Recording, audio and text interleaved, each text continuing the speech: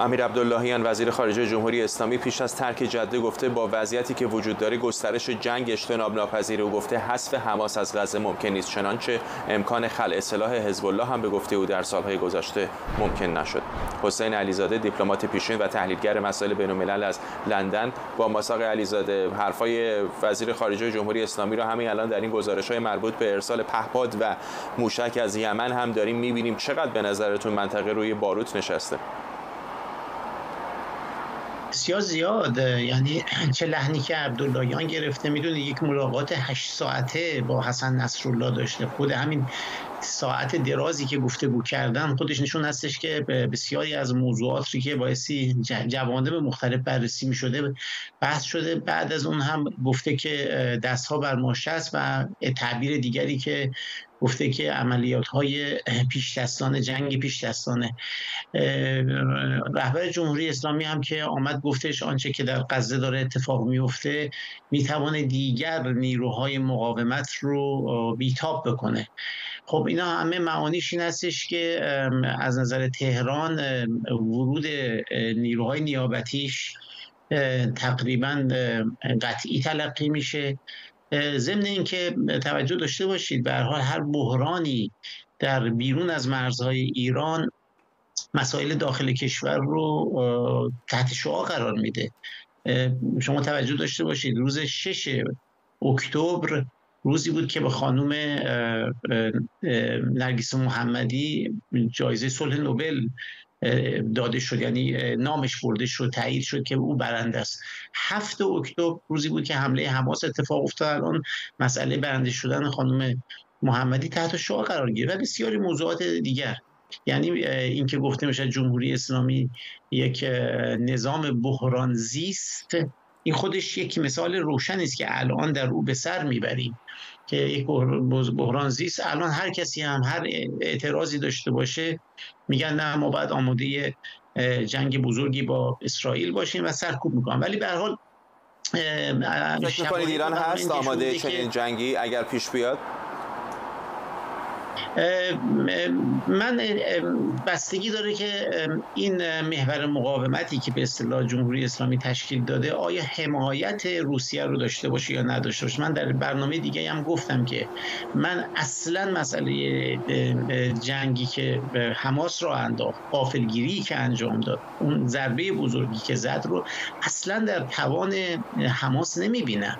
یک قدرت بزرگتری در کار باید باشه که به هر حال از باگهای درون سیستم نظامی سیاسی اسرائیل خبر داشته باشه. اون چه قدرتی می‌توانه باشه؟ جز روسیه که اتباع بسیار زیادی کامیونیتی بزرگی رو در روس در اسرائیل دارن و می‌خواستن به روسیه به اسرائیل درس بدن. فراموش نکنید. در اختلاف اسرائیل اختلاف روسیه و اسرائیل از اونجاش آغاز شد که سال گذشته در مجمع عمومی قطنامه ای به پیشنهاد شد مبنی بر اینکه روسیه از شورای حقوق بشر اخراج شود به دلیل جنایاتی که در اوکراین کرده و کشور متجاوز محسوب شود. اسرائیل رأی داد به این قطنامه. اسرائیل که این همه روابط حسنه با روسیه داشت به این قطنامه رأی داد.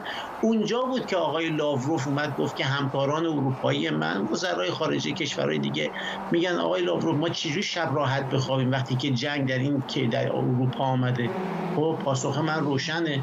شما فکر کنید که اوکراین فلسطین است و روسیه ایالات متحده آمریکاست. دارن می‌زنن می‌کشن فلسطینیا رو. چطور سرتون راحت گشتید خوابیدید؟ الان سرتون راحت بذارید به راحت. این تنه بزرگ رو به تمام کشورهای اروپایی زد که چطور یه چشتون رو میبنده؟ خب اینجا چشتون ببنده در اصل اوکراین. اختلاف خیلی بالا گرفت بین روسیه و بین روسیه و اسرائیل. دیدی لاوروف یه تنه دیگه هم زدش گفتش که خود هیتلر هم رگ یهودی در بدنش بوده. یعنی یعنی دیدید اصلا ولوله انداخت در, در اسرائیل خیلی اظهار ناراحتی که کار ندارم. می‌خوام بگم به نظر من من من اینطور درک می‌کنم که این حادثه مهیبی که در تاریخ اسرائیل سابقه نداشته. خودشون گفتن 9-11 ما 11 سپتامبر ما بوده.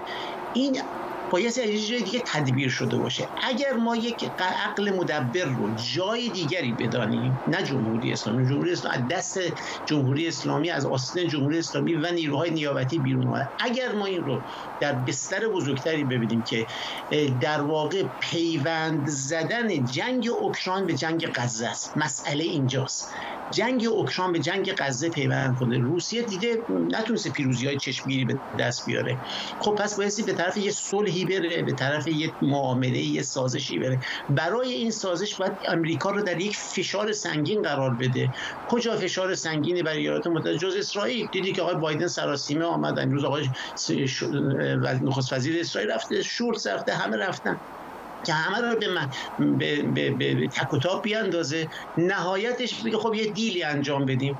این معامله ما خواهد بود که شما در اوکراین به من امتیاز بدید. اسرائیل هم اون وقت آرامش خواهیم کرد. من مسئله رو در این بستر می‌بینم. این که پرسش شما خیلی خلاصه که آیا جنگ در می‌گیره آیا جمهوری اسلامی درگیر می‌شود؟ به این برمیگرده که آیا روسیه پشت این جریان مقاومت به اصطلاح مقاومت قرار می‌گیرد یا نمی‌گیرد؟ اگر قرار بگیرد بله جنگ درگیر میشه. به حال قدرت بزرگی مثل روسیه هستش اگر نه که احتمالا فروکش بکنه. ممنونم از شما. حسین علیزاده دیپلمات پیشین و تحلیلگر مسائل بین المللی از لندن.